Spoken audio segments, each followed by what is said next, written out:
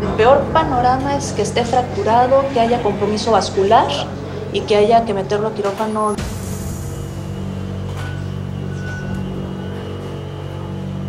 Ya vimos tus placas, está luxado, afortunadamente no es fractura, es únicamente una luxación.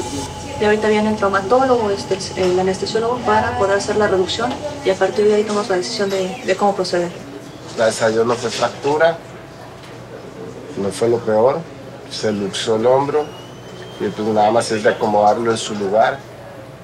Ahorita todas mis plegarias van destinadas a que pueda seguir en la competencia porque no sería la, la manera en la cual me hubiera gustado irme.